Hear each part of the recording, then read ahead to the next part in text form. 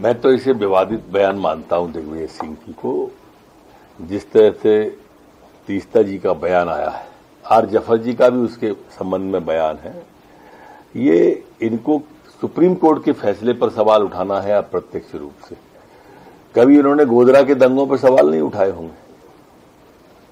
कश्मीर में जब बेगुनाह मारते हैं तो सवाल नहीं उठाते एक सोची समझी साजिश तीस्ता के माध्यम से की गई। देश के प्रधानमंत्री को बदनाम करने की जिसका पर्दाफाश सुप्रीम कोर्ट ने किया है और वो सही जगह पहुँची है जहाँ पहुँचना चाहिए।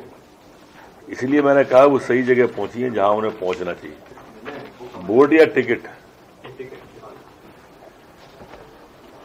अच्छा इससे एक बात तो तय हो गई है। ये दो ही लोग चला रहे हैं कांग्रेस को काटू और छाटू जो भी हैं।